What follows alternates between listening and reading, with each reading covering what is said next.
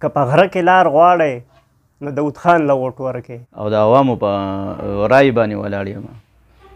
او زما انتخابي نښه چې دا اتله ده خواستې دا خان جګل موږ درولې دي او د لخوا په دغه سره ووټ ورکې زما پارټي خو پي ټي آی ده خو زه بغیر هم ووټ ورکوم خان جګل هم ووټ ورکوم نه دی هغه مونږ د جماعت اسلامي د سیړه ودرولې دی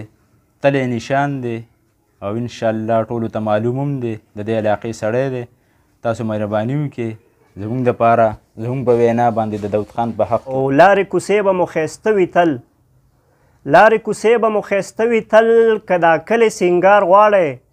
نو داود خان له ووټ ورکړئ د ترقۍ په لاره ګام اوچت کړئ که رهبر مو ایماندار غواړی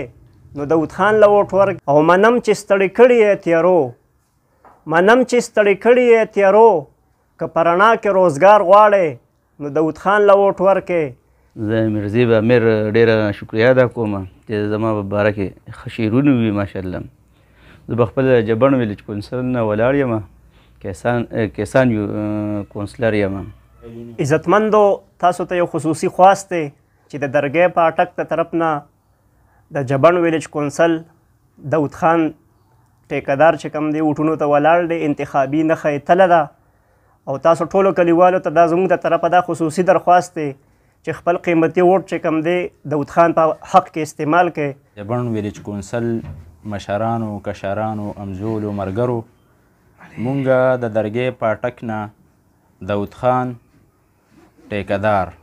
دلته په دې علاقه کې کارونه کړي دي ټول خلک یې پیژني داسې ناشنا څوک